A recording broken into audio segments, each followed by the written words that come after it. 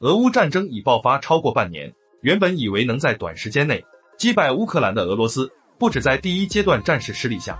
放弃全面控制乌克兰的目标，连在乌东与乌南一带的占领区，目前都岌岌可危。乌克兰在乌东所发动的反攻，迅速夺回大片领土，并一举肃清哈尔科夫州，防守当地的俄罗斯地面部队，可谓溃不成军。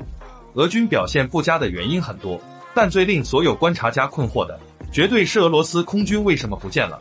从开战之初，俄罗斯空军就无法夺取制空权，到战事持续将至，俄军战机也无法有效打击乌军部队，提供空中火力支援，甚至到这次俄军在乌东仓皇撤退，俄罗斯空军也没有办法提供掩护，阻挠乌军的追击，让俄军丢弃大批武器弹药，造成重大的损失。到底俄罗斯空军发生了什么问题？目前仍无定论，但或许从一些蛛丝马迹，能大略分析一下可能成因。就这半年多的情况来看，俄罗斯难以掌握战场上制空权的关键原因，是迟迟无法摧毁乌克兰的机动型防空飞弹系统。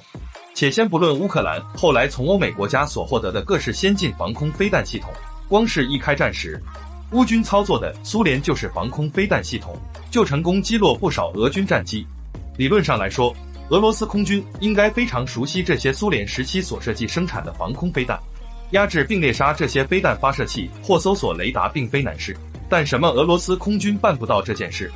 或许最根本的原因是压制敌方的防空网本来就是一件非常危险的事，特别是容易藏匿的机动型防空飞弹系统，